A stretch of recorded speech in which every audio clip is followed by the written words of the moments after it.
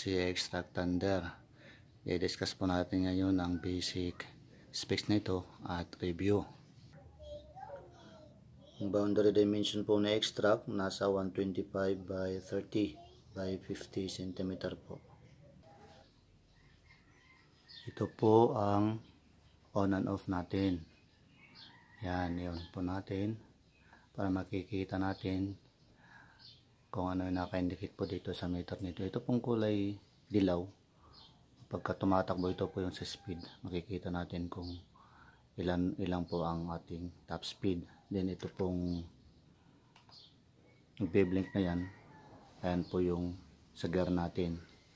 Gear 1, from gear 1 po to gear 3. So kapag ka magpo-proceed po tayo sa gear 1, pipindutin lang po natin itong on and off. Pag nag-blink na po yan, saka po natin pindutin ang mode. Yan, pupunta na yan sa gear 2 at saka gear 3. Ito po, tapos back to normal po tayo. Saka naka-indicate na rin po dito yung battery natin. Ayan. Tsaka, pag pinindot po natin itong mode, makikita po natin kung ilan po ang percent ng atin pong battery. Para malaman po natin pag mag-charge na po tayo, kung malulubat na po ba siya ito. Ayan 50 50.7 pa po ang ating pong uh, battery. Back to normal po tayo. Ayan. Ito po pala ang throttle. Ito pag ganun. Ito yung front brake. At saka ito yung rear brake. Kapag ka nag brake po tayo automatic po iilaw yung atin pong tail light or stop light. Ayan may ilaw po. Yan ito naman pong kulay dilaw. Ito po yung sa lid. Lid natin. Ayan yung uh, sa headlight po natin. Ah ito. Maliwanag po. Ganda po ng ano Tsaka double function din po pala itong lead. Kapag ka pipindutin po natin ng dalawang bisis, nagbe-blink po siya. Ito. Ayan, nagbe-blink po yung ating headlight. Ayan. Agaw pansin po yan kapag kagabi. Off po ulit natin. Ito naman po yung sa motor po natin. Meron po siyang single at saka dual. Kasi itong ano natin itong unit po natin si extract dual hub po siya. 1,000 per hub. So nagiging uh, ah, 2,000 po ang wattage nito sa kabuuan po. Kapag ka pinindot po natin post po natin ito click dual dual hub na po yan. Dual motor. Then pindutin uli back to normal po siya. Ayan po. Saka ito naman po yung horn Ayan, busina. Ayan, kapag ka magbubusina po tayo sa umaga, sa araw, or gabi, kapag ka naka-off po yung ilaw po natin, nagbiblink po yung ating headlight. Ayan. Ano po natin. Yan, galing. Kasong busina natin parang mahina kapag ka tumatakbo po parang hindi naririnig. Ah, tapos ito pong on, on and off dito na po yung sa lead sa, sa deck po nito. Ito po ang function nito. Ayan. Papakita ko sa inyo yung sa yung sa deck po. Ayan. Kusa na po yan na tumatakbo gumagalaw ito magkabilaan po yan. Meron po sa likod. Ayan dalawa pong ano yan lid. Tsaka ayun ganda. Oh. nailaw na rin po pati yung ano yung stoplight kapag ka naka-on na po yung ilaw dyan sa dik. Ito po pala kapag ka naka-standby po yung ating unit. Kusang namamatay po ito. Kusang pong nag-o-off itong uh, sa meter po. Mga minuto lang po siya. Nag-o-off po. Then ang gagawin po natin kapag ganito naka-standby po siya unahin po natin itong power on and off.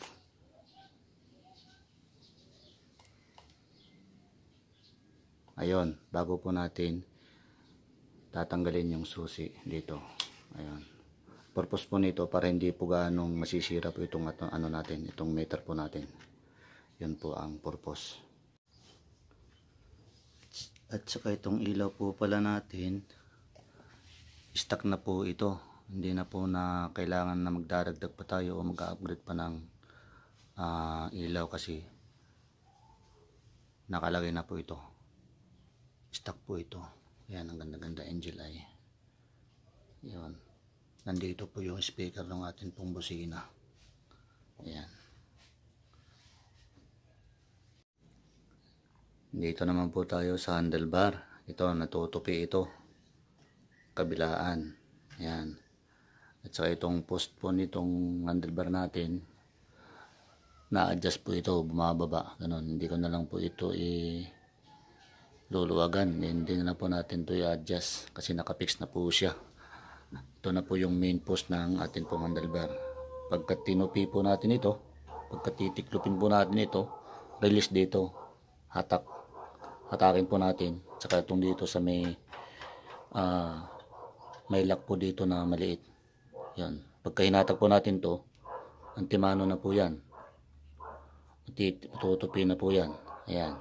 Tapos ang kagandahan kapag ka nabigla po tayo ng ano nang hindi po natin namalayan sasadsad po sa ground itong atin pong unit. Ito po ang magsusupport ngayon itong trolley. Yon ito pong kagandahan nitong unit natin meron po siyang trolley so hindi po agad ito uh, direct na babagsak po ang dick natin sa lupa. So hindi ibig sabihin hindi po siya nagagasgas gagasgas iwas gasgas po siya. Yan at saka ang dip po nitong ni-extract thunder sandpaper po ang nandito ito sandpaper ito. Magaspang. Kapit na kapit po ang ano natin dito. Sapatos. Hindi basta basta po madudulas ang sasakay. Ayan mayroon po siyang nandito po yung upuan. Hindi ko lang po nilagay na tinanggal ko. Kasi mas kampante ako na nakatayo lang kaysa nakaupo okay lang po dito kung babae ang siyang sasakay. Kasi yung babae po madali lang pong mangalay. Ay tinanggal ko na po. Ayun. Ito po yung tawag dito. Ito po yung rear bracket. Yan. Pwede mo rin po dito ipatong ang paa yan kapag ka nangalay. Saka sa loob po nito nandito na po yung battery ng light natin at saka ng motor hindi na lang po natin to tatanggalin hindi na lang po natin to babaklasin. Kasi sayang po yung nakasilyo dito. Meron pong silicone dito. Ano protection po sa tubig na hindi po pasukin ng tubig. Kasi bawal pong mabasa ang atin pong unit. Kaya ayan hindi ko na lang po bubuksan. Uh, ah, 48 volts po pala ang battery natin. Ayan. At saka ang gulong po pala, ito, pang off-road po siya. Off-road. Actually, ang unit po natin nakadesign po siya sa pang off-road po. So, kahit saan pwede. Galing ano. Ayan. 10 inches po ang ano nito. Diameter. A ah, diameter ba o circumference? Basta 10 inches po ang laki ng ating gulong. Ayan o. Oh. Ayan. 1,000 per hub. Ulitin ko po, 1,000 per hub. Ayan. Ito po yung nagpapatakbo sa ating unit. Ito po yung motor. Ayan. Ayan, may side kick, side stand. Ito. Uh, nakukita na ako nito. Wala pa sandangkal. Tapos ito po yung suspension shock. Shock absorber po ito. Lit.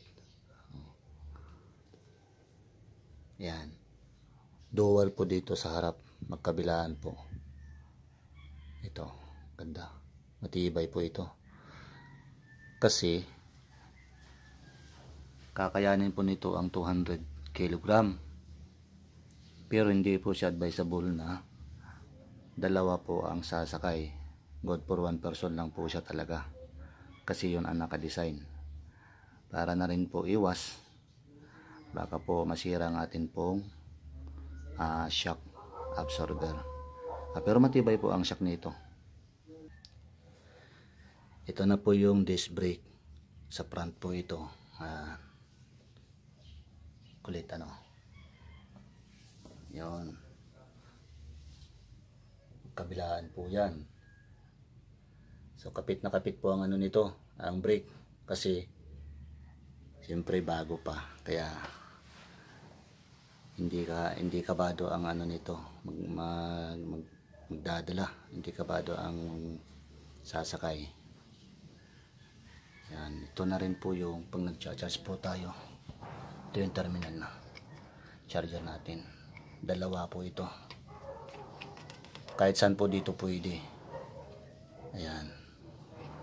Ang sa manual po nakalagay is 3 to 6 hours.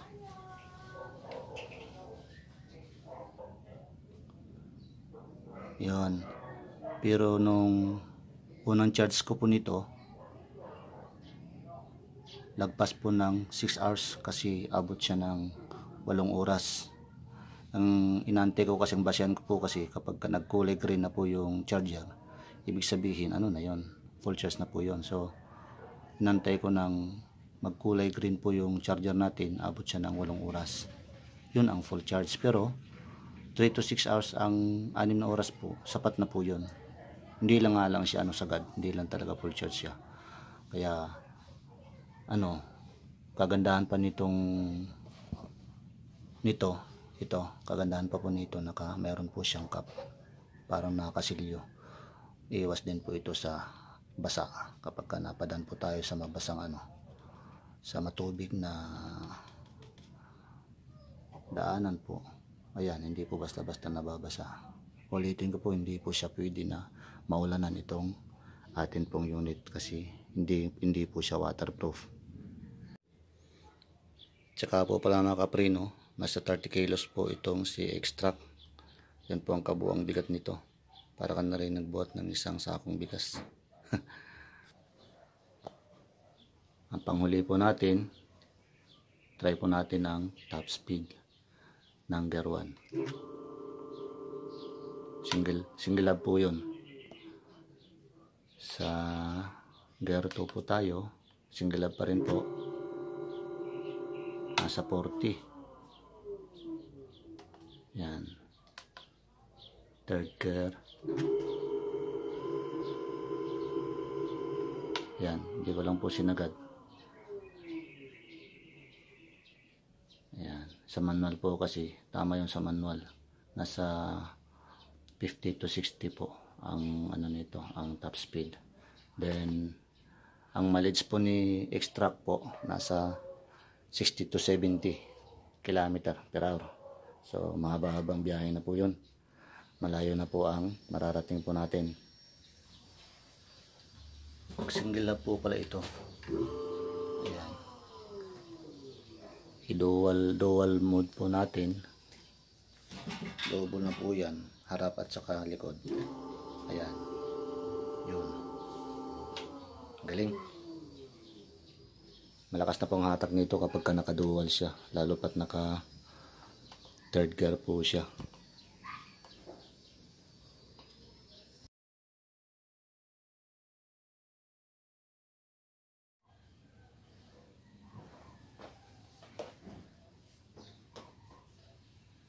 Shout out nga po pala kay Valerie Mia Aguilar tsaka kay Makmak.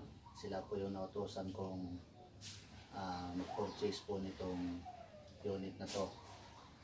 Uh, from Pasig to Valenzuela, then Valenzuela to Jinsan. So, maraming salamat sa inyong dalawa. God bless. God bless po. Salamat po sa muli.